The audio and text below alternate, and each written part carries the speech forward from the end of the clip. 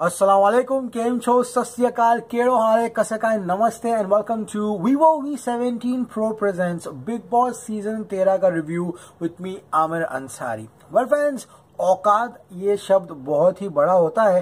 And guys TV जगत के जब दो सितारे स्पेशली एक पुरुष सितारा और एक महिला सितारा, अगर एक दूसरे को अपनी औकात दिखाने पर आ जाते हैं देन गाइस नेशनल टेलीविज़न पर ये थोड़ा अच्छा नहीं लगता। एक एवरेज इंडियन आदमी क्या खाना खाता है? रोटी, दाल, सब्ज़ी और चावल। अगर उसे वो भी ना मिले तो उसके अंदर का जो आक्रोश है, जो अंदर का फ्रस्ट्रेशन है, वो किस तरह प्रकट होता है? एंड गाइस किस तरह से एक पुरुष महिला को अपने पैर की जूती समझता है एंड बस उसे वही लगता है कि ये लोग यहाँ पर खाना बनाने के लिए खड़े हुए हैं। एंड जब वो महिला कहती है कि क्या हम यहाँ पर सिर्फ़ और सिर्फ़ खाना बनाने के लिए खड़े हैं, तब गाइस जो मेल ईगो है वो बहुत हद तक हर्ट हो जाता है। आज ये भी दिखाई दिया बिग बॉस में। लेकिन गाइज़ यहाँ पर जो दिलवाला है, उसने दो बार दिल तोड़ दिया है, लेकिन फिर भी ऐसी क्या चीज़ है उसमें जो शहनाज गिल को पारस से बाँध कर रखी हुई है? आज भी उन्होंने उसको दूसरी बार धोखा दिया, लेकिन फिर भी वो कहती है, अरे, दिलवाले ने तो दो बार धोखा दे दिया। एंड क्या होता है?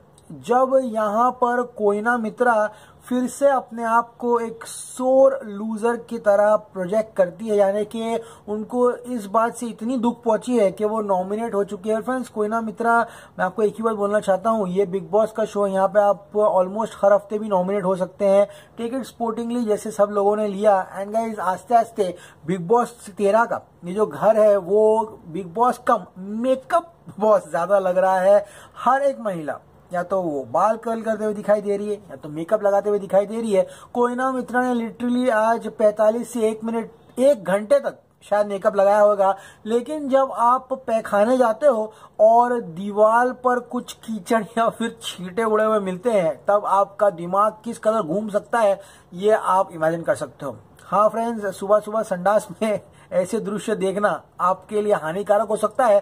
तब आप सबसे पहले वो व्यक्ति को ढूंढोगे जो इसकी ज़िम्मेदारी उठाया हुआ है। वो है असीम और किस तरह से यहाँ पर नाश न साफ़ होने के कारणवश उसको भी काफ़ी खरी खोटी बातें सुनाई गई। इसके बीच, ये सारे रोमांच के बीच अबू मलिक अपना पेट निकाल कर जैकेट पहनकर मस्त घूम रहे थे वहाँ पर।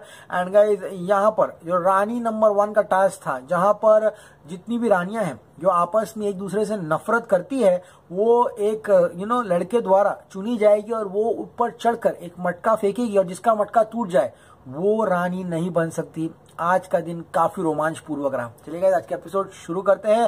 वेल फ्रेंड्स कोयना मित्रा, आज उन्होंने एपिसोड धमाकेदार तरीके से शुरुआत किया। कोयना मित्रा को मैं लेडी डॉन कहना चाहूँगा, उनकी आवाज़ मज़बूत है। वो बराबर आर्ग्यू करती है एंड उनकी आर्ग्यूमेंट में एक पॉइंट भी गलत निकालना मुश्किल नहीं, नामुमकिन है।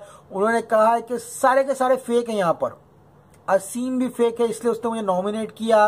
एंड गाइज़ यहाँ पर आज राइटर बाबू थोड़े कम दिखाई दिए, शुरुआत में थोड़ा दिखाई दिए, लेकिन बाद में आज पूरे एपिसोड में वो दिखाई नहीं दिए।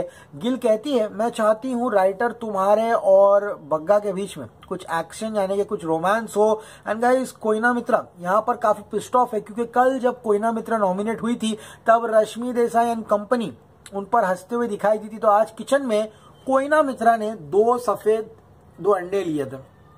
सनी साइड आप चम्मच से वो खा रही थी। कह रही थी तो मैं ना, मेरे पास हंसता तो ना, मेरे को पसंद नहीं आया था।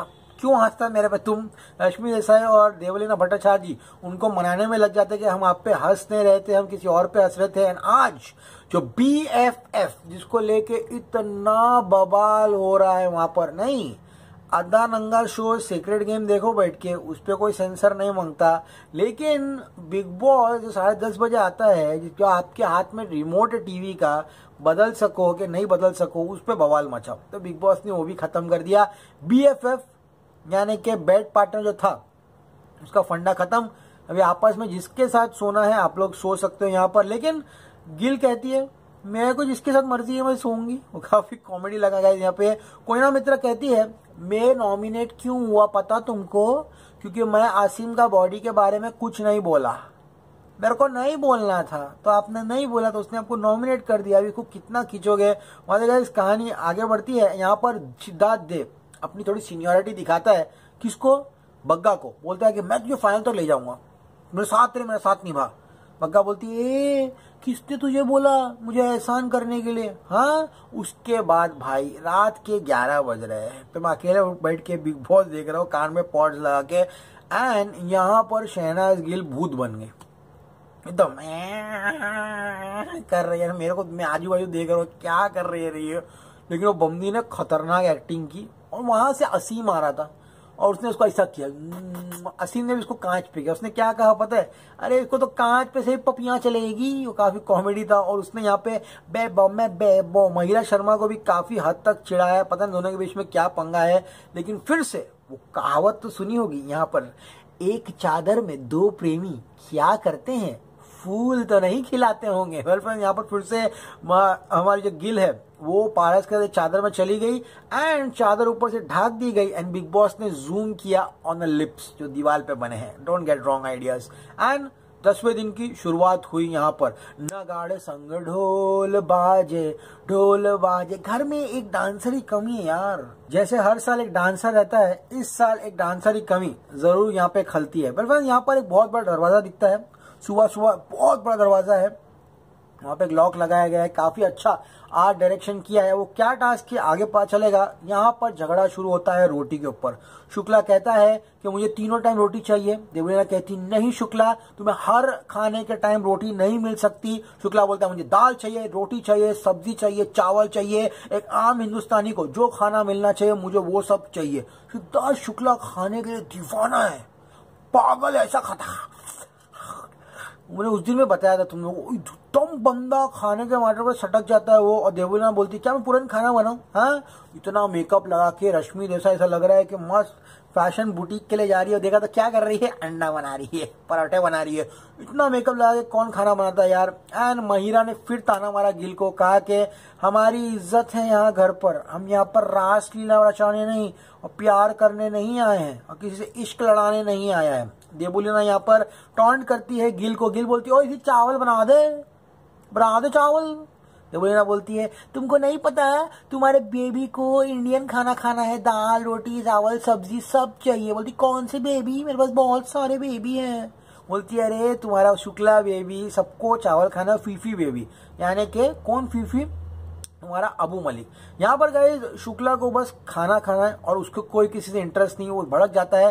कहता है कि रोटियाँ सिर्फ़ क्या अमीर लोगों को मिल सकती है? कोई ना मित्र कहती है, ए तेरा फीफी है ना? उसको बुला और शुक्ला, दोनों मिलकर तुम लोग रोटी बनाओ। हम लोग को मत सिखाओ तुम लोग हाँ? यहाँ पर क्या चीज़ है तू? कौन है तू? शहनाज यहाँ पे महिला को चिल्लाती है। शहनाज यहाँ पे महिला की मिमिक्री उतारती है पहले। इसीलिए महिला भड़कती है गाइज़ यहाँ पर। लेकिन गाइज़ शर्मा बोलता है कि मेरे जैसे न बन पाएगी। किसको बोलता है जाकर महिला शर्मा? गिल को। तू मेरे ऐसे नहीं बन पाएगी। गिल बोलती है मुझे बनना भी नहीं तेरे ऐसे और गाइज़ यहाँ पर सब के सब लोग अंग्रेज़ पे चढ़ जाते हैं। अंग्रेज़ जाने के अपना असीम रियाज। असीम रियाज बग्गा को कहता है कि what are you telling me, हाँ I am doing in the bathroom you putting makeup उसको फुल इंग्लिश में बोल रहा है। सब लोग बोलते सब चढ़ जाते उसके ऊपर। संडास बराबर धोता नहीं है। संडास की दीवारों पर गंदगी लगी है। जा जाके धो जा पे। यहाँ पर पराठों की झगड़ा शुरू हो जाती है। अब guys honestly speaking Debolina Bhattacharjee कुछ ज़्यादा ही मोटे पराठे बना रही थी। भाई मोटा पराठा मिल रहा है, पतला खाने से मतलब है रे। खाना खाओ ना, पतले चाहिए, मोटे पराठे से उस पर झगड़ा हो गया। औकात की बात आ गई। रश्मि देसाई उसको बोल रही, शुक्ला को, तेरी औकात क्या है? शुक्ला रश्मि देसाई को बोल रहा है, तेरी औकात क्या है? फुल यहाँ पे झगड़ा हो गया। यहाँ पे कोई ना मित्र बीच में बॉस जैसा आ गई। शुक्ला बोलता है, तुम बीच में मत आओ। तुम क्यों बोल रहे हो यहाँ पे आके? हाँ? मित्रा बोलती है तुम मुझे नहीं सिखाएगा कि मैं क्या बोलेगा, क्या नहीं बोलेगा। मेरा घर भी है, मैं भी बोलेगा यहाँ पे। काफ़ी कॉमेडी लगा गया यहाँ पर।